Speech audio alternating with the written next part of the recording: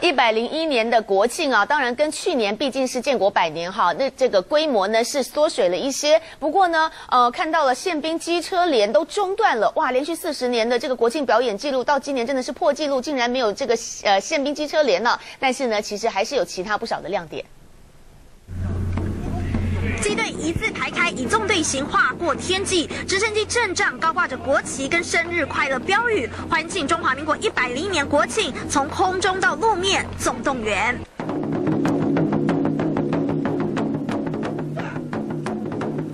鼓声打得震天响，庄定高职出动八人小组，已经战鼓伎敲响生日钟，精神抖擞，粉红军团那么有力，原来领衔的正是电影里的莱娅对蛙爬啦。非常的兴奋，也很热情，很紧张。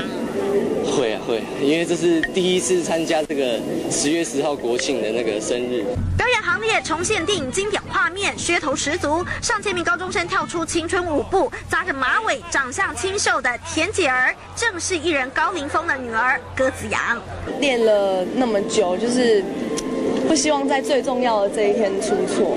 嗯，那有没有什么话，就是在镜头前面想要对爸爸妈妈说？讲一下吗？对啊，嗯，就是 这次表演，就是我一定会好好的把它跳好。